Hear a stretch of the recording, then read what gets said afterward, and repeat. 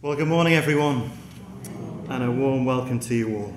And thanks for being with us on this important and poignant day. A special welcome to those who have travelled to be with us today. It's great to have you with us. And also, thank you to those who have been praying for us over this difficult time. I've had various messages, even uh, some texts uh, this morning from folks at other churches uh, who know that there, there perhaps wouldn't be room for them uh, to gather personally today, but they send their good wishes and they are praying for us. The people around the circuit, around the district, are praying for us and praying with us today.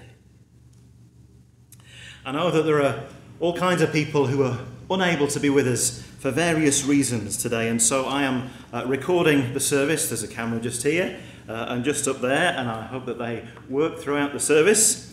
Uh, and so uh, this service will be available online uh, later today. Uh, so hello to those of you watching us later online. I want to thank you, those of you in the West Moor congregation, for providing me with some of your favourite hymns to include in this service. I couldn't include them all in full, uh, otherwise, we might be here for some time. But I think most are included in some way in the service. In Christ, we are joined together and grow into the holy temple of the Lord. In Christ, we are built together into the dwelling place of God. And we sing our opening hymn, 506 in Mission Praise How Great Thou Art. Let's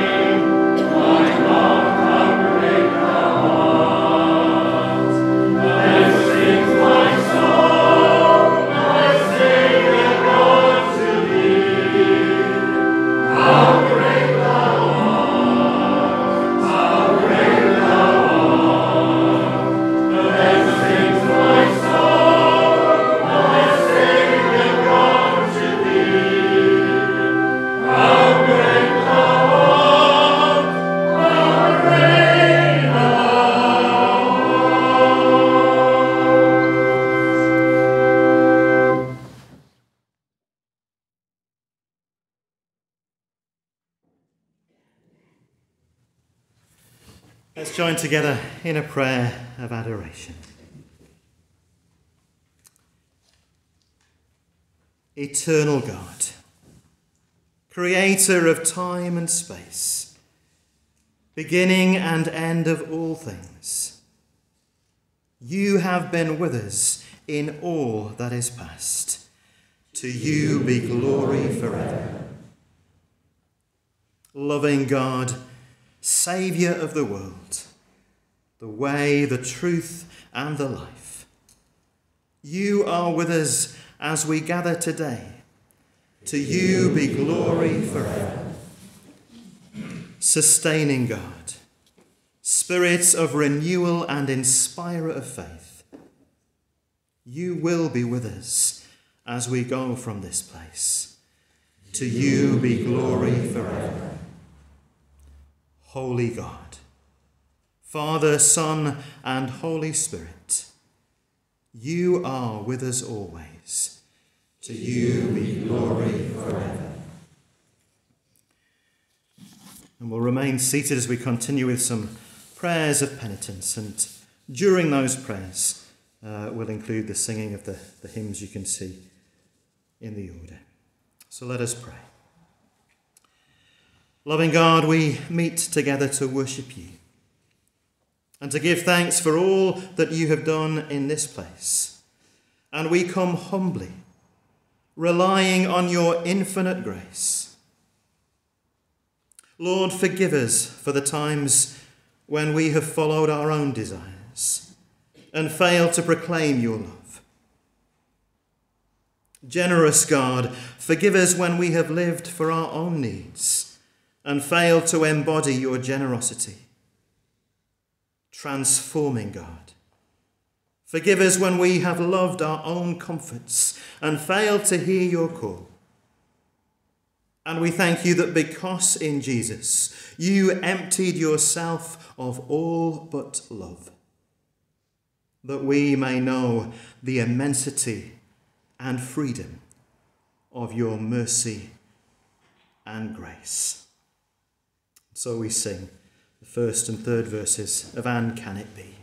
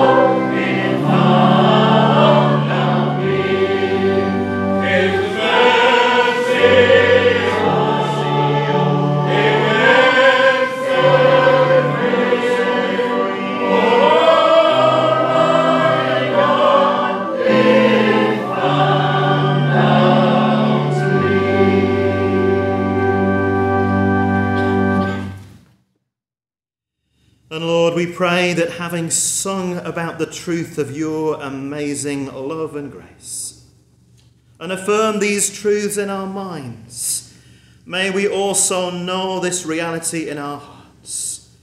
May your Holy Spirit fill us and give us the assurance of your forgiveness and fill us afresh with goodness and love. And so we sing together First and third verses of Blessed Assurance.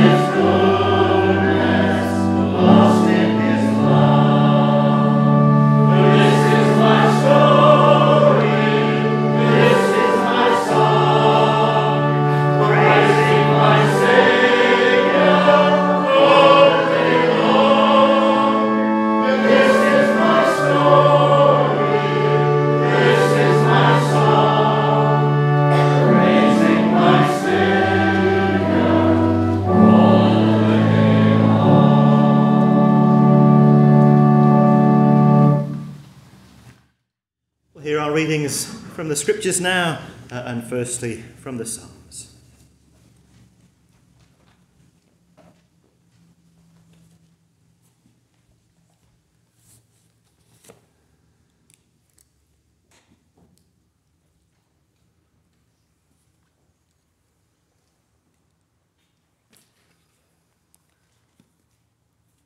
Our Old Testament reading this morning is Psalm 100 entitled A Hymn of Praise. Sing to the Lord, all the world. Worship the Lord with joy. Come before him with happy songs. Never forget that the Lord is God. He made us and we belong to him. We are his people. We are his flock. Enter the temple gates with thanksgiving. Go into its courts with praise. Give thanks to him and praise him. The Lord is good. His love is eternal, and his faithfulness lasts forever. Amen. Amen.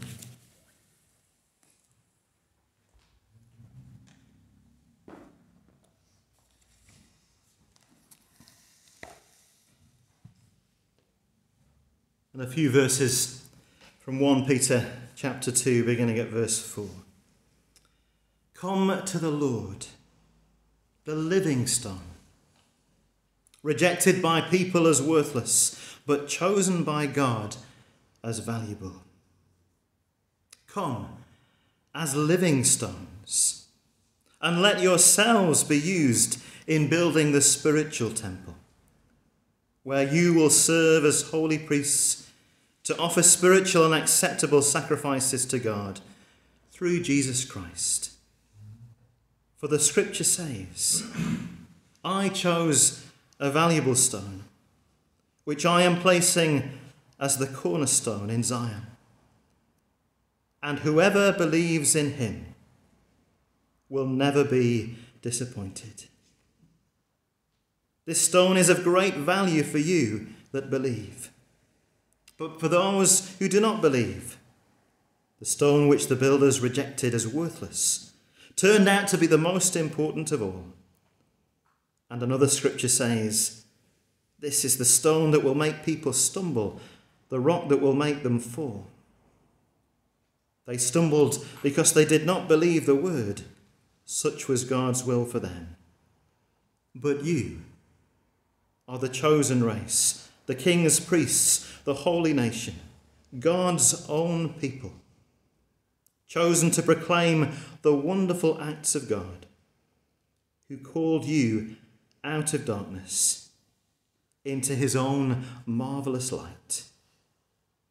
At one time, you were not God's people, but now you are his people. At one time, you did not know God's mercy, but now you have received his mercy.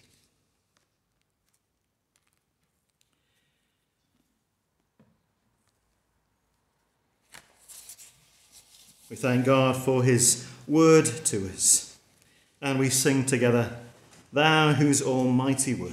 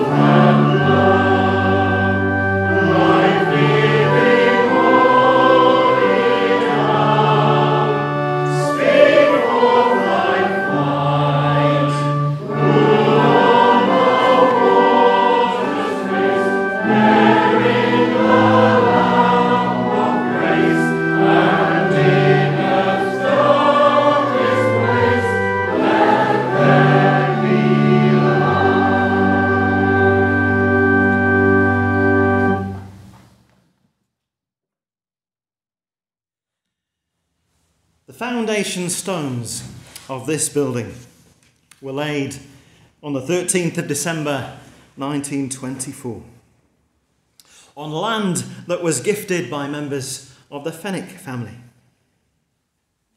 We probably all know a little bit about Fenwicks, but until a couple of weeks ago, I didn't know anything about Sir Arthur Munro Sutherland, who paid for the building of these premises.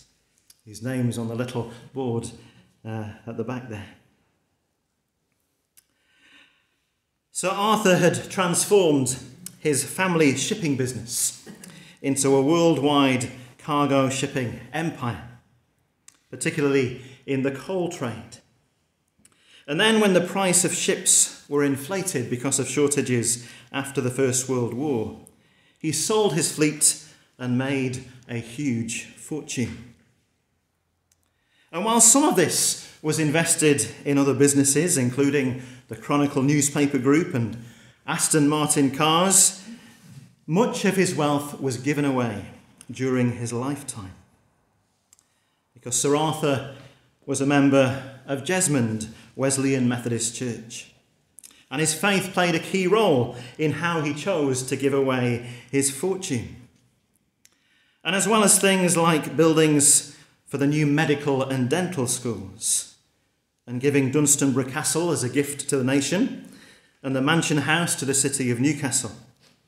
Sir Arthur also supported many Methodist causes, including what became the Methodist International Student Centre, support for overseas missions, and West Moor Methodist Church. So that's just a little bit about how the physical stones and bricks of this building came about. But much more important are the living stones. Some of those living stones were the people who initially came from other churches in the circuit to form a community of disciples of Jesus Christ to worship and witness in this community. And over the years, many of you who are gathered here today and many others have become the living stones in that community. We are living stones in the church of Jesus Christ. And just like the dry stone walls that enhance the beauty of the countryside in places like the Yorkshire Dales, because they're made not of bricks that are all exactly the same cuboid shape, but of oddly shaped stones and rocks, all of different shades and sizes. So, the variety of different people who make up the community of the church are united in Jesus to build something beautiful. Some of us have had the privilege of being members of this community for just a short time as your ministers. And yet, those years have had an impact on us. And I'm really grateful that three former ministers are with us today. And I'm delighted that they have agreed to share a few words with us. Uh, and I'm inviting them to, to come and share with us uh, in the chronological order, order of when they were ministers here. So I think that means that it's uh, Andrew Foster first, then Malcolm Newman, and then Hazel Hanson. So over to you. Thank you. Thank you very much, Gavin. Thank you for the welcome. Janice and I are very uh, glad to be here with you today, and our daughters Sarah and Alison also send their love. There's so much that one could say, but I, I would want to begin by reminding some of you that I came here as a probationer minister. I was a newbie, and the circuit and the churches I served, and here at West Moor, you were all kind, you were supportive, you were patient, and you were encouraging. And I never want you to underestimate just how much that genuinely meant to us at the time and has continued to do so through the years. West Moor Chapel. I picture the building often in my mind as the base for the discipleship of the church family. Outside, where events were held, appropriately this weekend, where the family fireworks used to be held. The vestry at the back, where we used to hold the Thursday night Bible fellowship. And pre internet days, we used to love listening and joining in the Radio Newcastle Lent group. And of course, it's in the vestry that the stewards would look after those of us leading worship and pray with us. The back room where the refreshments are, where the children and young people would meet and I picture them and those who work with them, the Women's Fellowship, and the other activities that happen there. The vestibule where we were welcomed this morning. How many people have been welcomed in that vestibule over these last 97 years? I remember welcoming John Smith, who was to become the leader of the Labour Party, uh, in that vestibule because he was sharing in a funeral one day but particularly here in the church, where we've had the gatherings for worship and for fellowship. Sunday by Sunday, celebrating the church year, and when the festivals came round, lovingly and appropriately decorated for those special times. And the special services marking the journey of people's lives, and there's photographs around of some of those today too. I remember the harvest festivals on the Sunday and the Monday night, the Monday supper, and the broth that was always prepared on the Monday night. And although it happened before I came, it was still legendary. The night the broth went off, and the heresy that they had to open tins of soup in order to accommodate. And I still tell a joke that I heard at one of the harvest suppers. Teacher said to the class, Who was the first person in the Bible?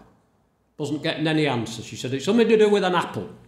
Little lad says, Was it Granny Smith, miss? and whenever people laugh, I'm back here. I remember Christmas Day when the joint service was held here. We were hosting it with Benton and Christchurch. We were full to overflowing. And I spoke the other day to the United Reformed Church minister, Jane Mortimer, who was part of that, and she sent her love and best wishes to you all today. And whenever I hear the tune to uh, while shepherds watched chiming Christmas bells, I'm always back here because that's what we used to sing when we went round carol singing, and I didn't know it until I came here. So I picture the building and what it says, but as Gavin's already said, when I think of West Moor, I think of the people of God, and I remember and I treasure them. Receiving tidings has helped us to continue to do that. And I include those who couldn't get to the building anymore, but were still a vital part of the church family, and it was always a joy for me to visit. I've remembered the very first chapel anniversary, we used to have a service on the Saturday afternoon. And I remember David Driver standing here and saying, What message do I bring to the saints of West Moor? The saints of West Moor. Because in New Testament terms, that's the word that's used. And I think of the vicar in a very traditional Anglican church with all the stained glass, and he said to the children, What's a saint? And the little lad looked round and he said, A saint is someone the light shines through. A saint is someone the light shines through. And today I thank God for this place and the people who the light of God's love shone through in the past and still does today for those of you here and those who we know are thinking of us and praying with us today, even if they're not here physically. So, if you'll just permit me just to read a very short hymn, another hymn by John Bell, which to me sums up our thanks for those people who have enriched our lives. The hymn reminds us that they lived out their faith, not in this building, but beyond, and sometimes simply by being the people they were.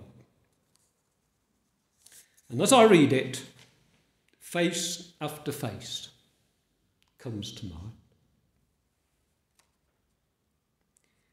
For all the saints who showed your love in how they lived and where they moved, for mindful women, caring men, accept our gratitude again for all the saints who loved your name, whose faith increased the Saviour's fame, who sang your songs and shared your word, accept our gratitude, good Lord. For all the saints who named your will and saw your kingdom coming still, through selfless protest, prayer, and praise, accept the gratitude we raise. Bless all whose will or name or love reflects the grace of heaven above. Though unacclaimed by earthly powers, your life through theirs has hallowed ours. It's what I feel today. Your life through theirs has hallowed ours. Thanks be to God. May God bless you all.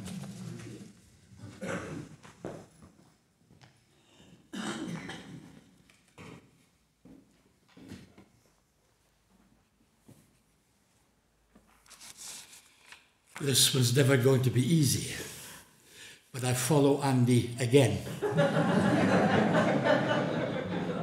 I too came as a probationer, and I know love too.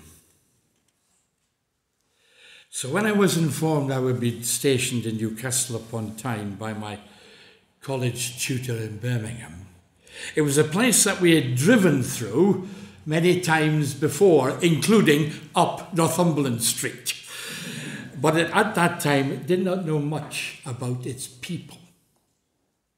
So in August 1988, Pauline, Dawn, our youngest daughter, and I came to 59 Weardale Avenue in Forest Hall to begin what turned out to be a fascinating adventure. An adventure, and it all began with a visit to this chapel and others with Brian Dan, who was the superintendent at that particular time. The then membership of this place were all arrayed in the schoolroom like a very obedient class and looked even to a mature adult a very formidable group with whom to begin ministry.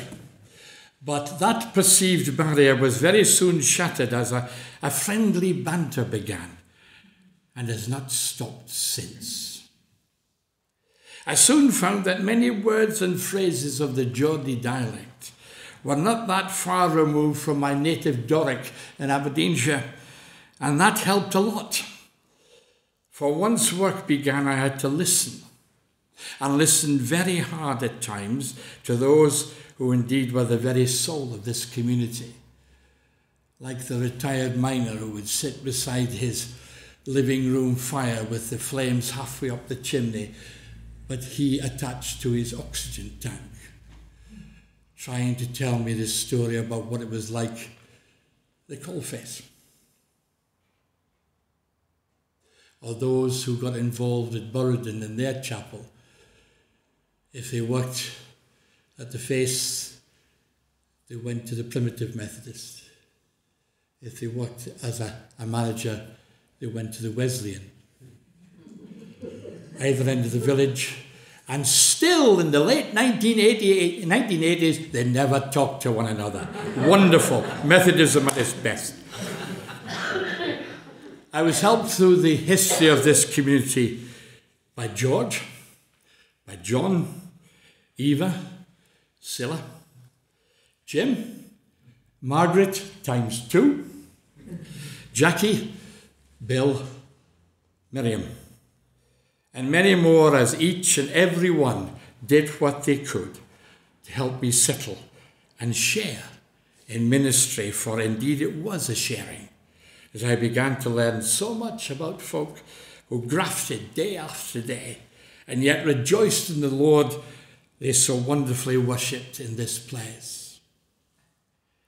I was indeed blessed also by those who took their place on the organ seat and provided a whole variety of musical presentations. Sometimes there were challenges and disagreements, but there was always a resolution, well, of some type or another. Worship was never conveyor belt stuff, but there was always something fresh about the singing, the engagement, and the fellowship enjoyed. And then there were those special moments, as Andy's already referred to, the harvest. Now, that for the minister was truly an experience, followed by that, that sumptuous harvest suppers, when all the leeks and everything else were chopped up in the kitchen amid the banter. I remember one year hearing the story that somebody took hold of John's prize leeks and cut them up. I can't remember what he said.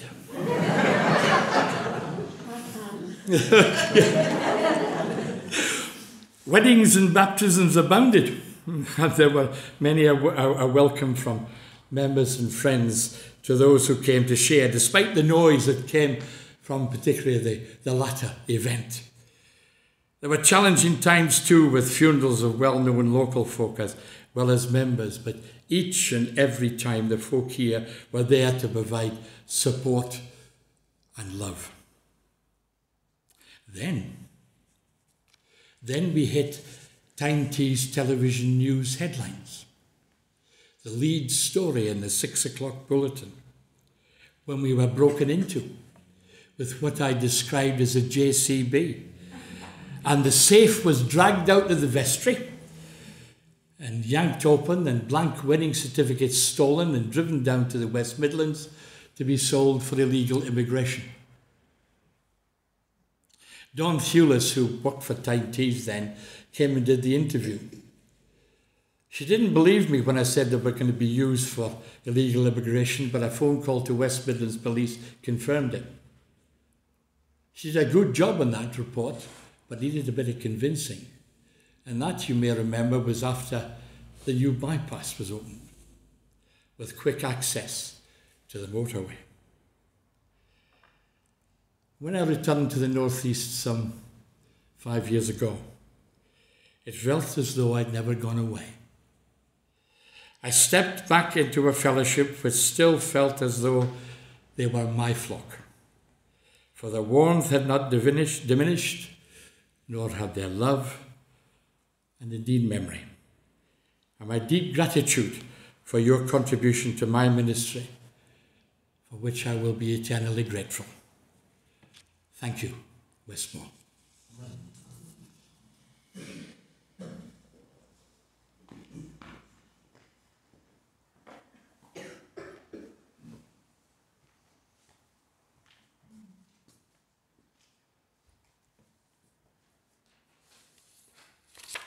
Don't know how you follow that. I'll try not to repeat because I would like to endorse so much of what has already been said. What can I say about such a very special church?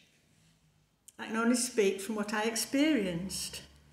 And I would say it was a church with a very big heart. A very big heart. A heart that has loved and cared for so many generations faithful and dedicated and visionary.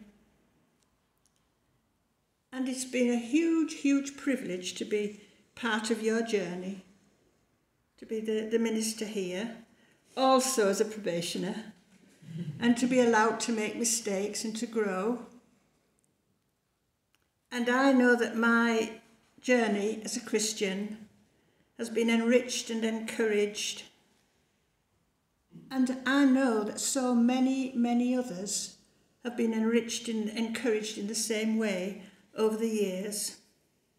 And looking round, I know that there are so many who have completed their journey and given all they had in their time, as you have in yours.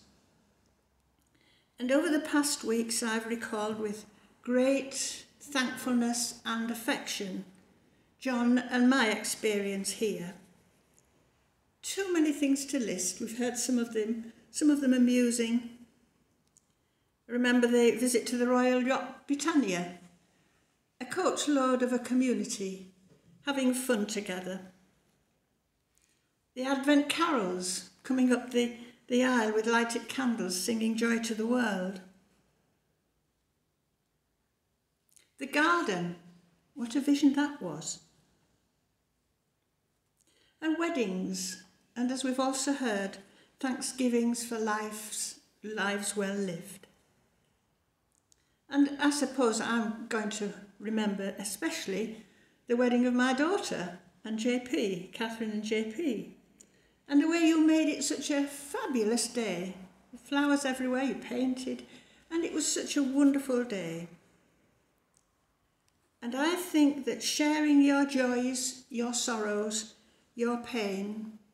You shared so much of that with me, which was a huge privilege, very sacred, very treasured, and very often never shared with anyone else. You opened your heart to us. I know John, some of these most happy years of his life were here. And I shared also your deep longings and your hopes and your dreams. Yes, I made mistakes. And you forgave because that was in your heart to forgive. And I would say that now you're going through a time of bereavement and you need to give yourselves time to grieve. You've lost a spiritual home of fellowship and faith, and I share that loss with you. Letting go isn't easy. You have to give it time. But you have some wonderful memories to cherish. And those memories will always encourage and enrich your continuing journey because that's what it will be. As they've always enriched mine. Memories so many we can't share, we can't name them all. You know, that the young people's holiday clubs in here when lots of children were having great fun. The young, the young mums, Karen, and the Women's Fellowship, and so many other things. And little things, like the Christmas fair, when Janet's mum made all those lovely things, and I've still got Christmas baubles I get out every Christmas that Janet's mum made. All the little things that made this such a very, very special church. And I think that today you can think of a ministry completed with great honour and a job very well done. You've been faithful and God honours that. I think of the hymn, Lord of the Years, your love has kept and guided. It's kept and guided your journey and mine, and we're all very thankful.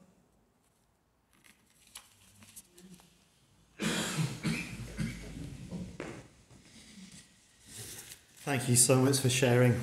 And also, a regular ecumenical visitor to us, uh, Canon Peter Dodd, is also going to share some with us. Thank you.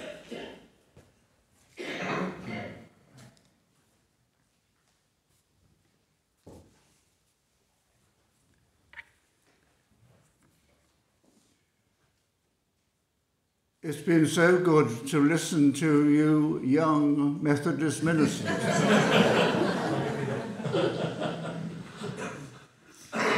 because I have had the enormous privilege of being an intermittent preacher in this church for 54 years. It was pretty intermittent when I was industrial chaplain, the first 30 years. In my retirement over the last 20 years, it's been rather more regular. And I want to say a word of gratitude and I want to say it across the ecumenical divide, which is so absurd, which keeps us apart. A message, incidentally, from Sarah, Sarah Moon at St John's Church, Killingworth.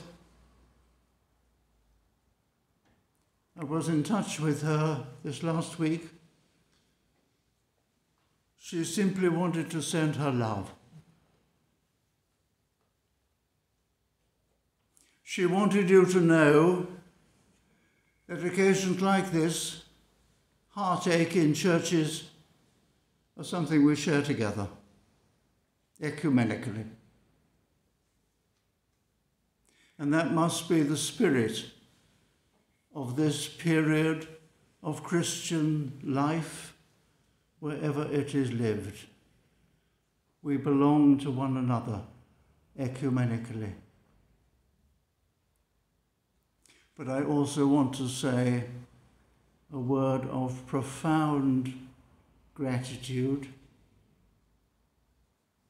There was always an enormous sense of welcome. That was the first thing. Then there was a warmth and attentiveness we preachers aren't always heard. But in this place, I found myself listened to as nowhere else.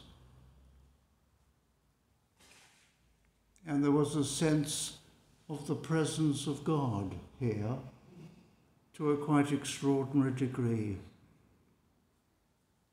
This was always a church I longed to get an invitation from, and I got it regularly, and it has been a real, real joy.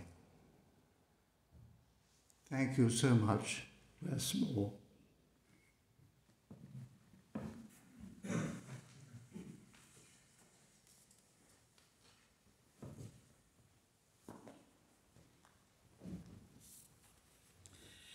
Thank you so much for sharing with us. Many of you will be reflecting today on those significant parts of your story that are intertwined with the story of West Moor Methodist Church. And we give thanks for all those things. We remember and we give thanks for all those living stones who form and who have formed the community of God's people at West Moor Methodist Church. Some of those people are now in God's nearer presence. Some of them we've held the services for in this place over the years. And as we come to the ending of our worship and fellowship in this particular building, with all the sadness that that brings, we will continue to be the living stones in God's temple, built on the foundation of Jesus and members together of the body of Christ, wherever we happen to worship. Continuing to grow in grace and being changed from glory into glory, till in heaven we take our place, till we cast our crowns before God, lost in wonder, love, and praise. We sing together, Love Divine.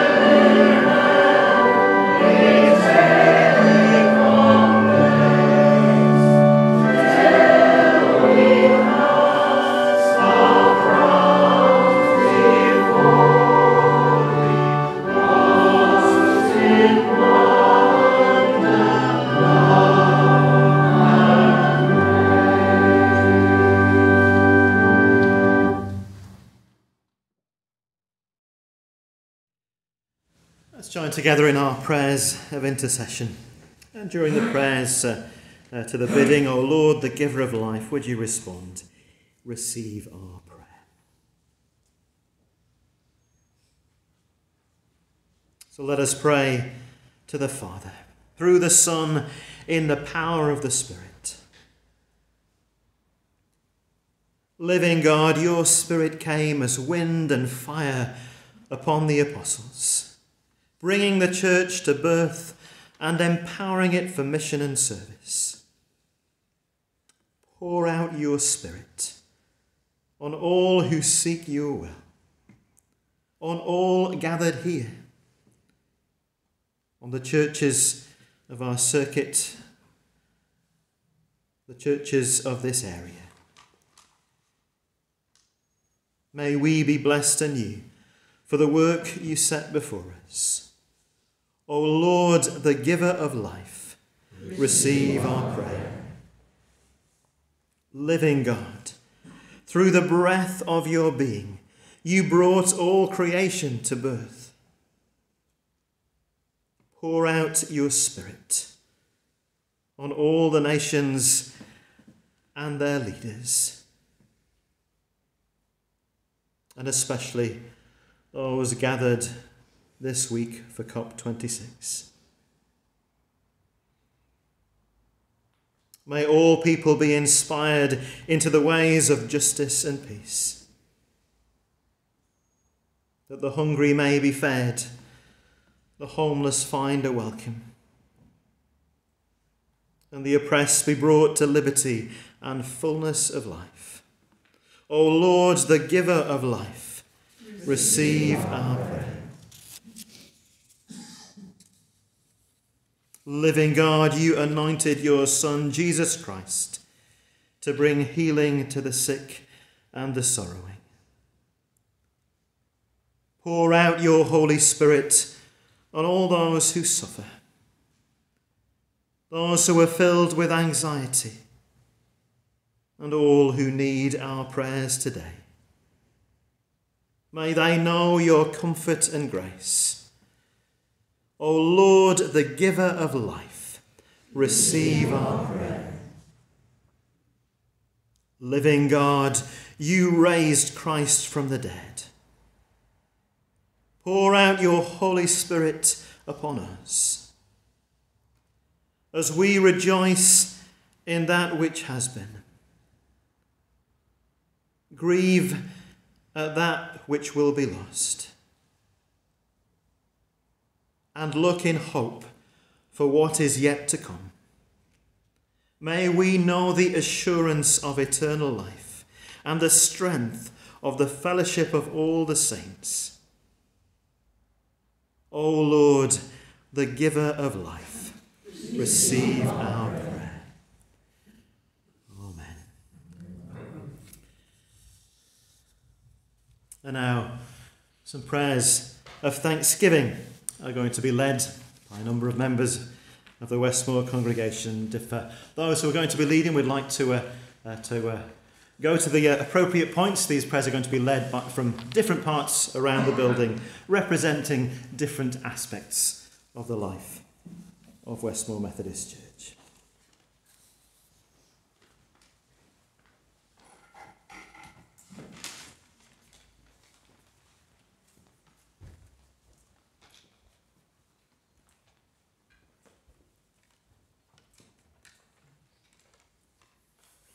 Welcoming God, we give thanks for all those who have encountered your presence in this place, for all those who have discovered your love shown to us through Jesus Christ. God of hospitality, we give you our thanks. Transforming God, we give thanks for all those who have entered the church through the waters of baptism, for those who have received the gift of new life through the promise of the Holy Spirit God of new life. We give you our thanks. Uniting God, we give thanks for all who have stood before you and pledged themselves to each other.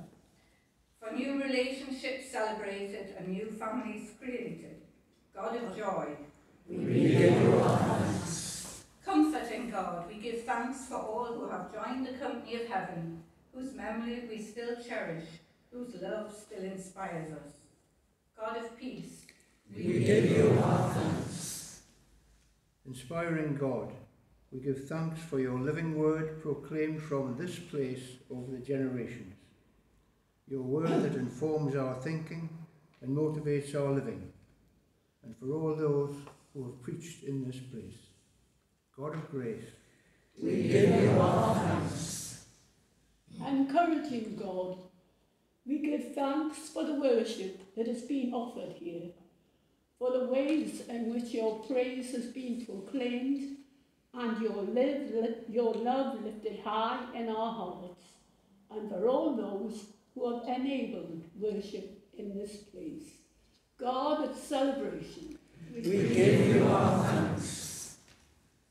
Tangible God, we give thanks for all the ways in which you have come to us, and for your means of grace, made known especially through gifts of bread and wine, your body and your blood. God of love, we give you our thanks. Amen.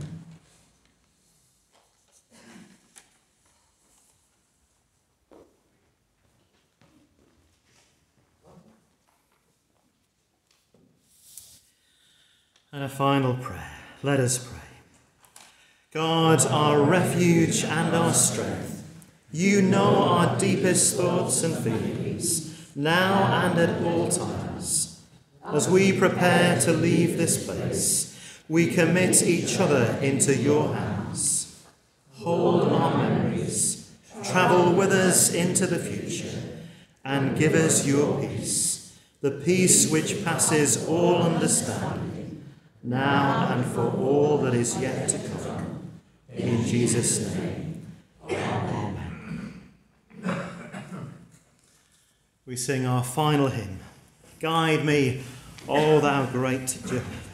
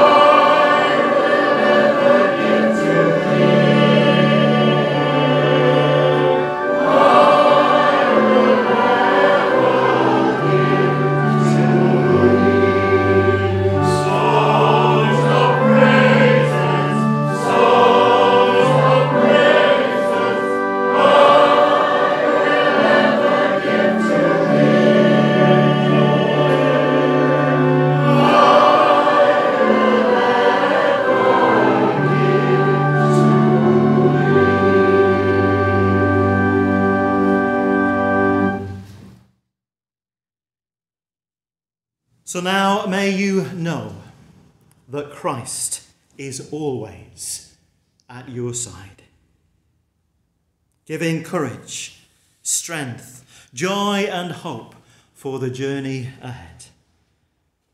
And may the blessing of God, the Father, the Son, and the Holy Spirit be upon you now and forever. We go in peace, for God's Spirit dwells in us. We will be a temple of God wherever we go.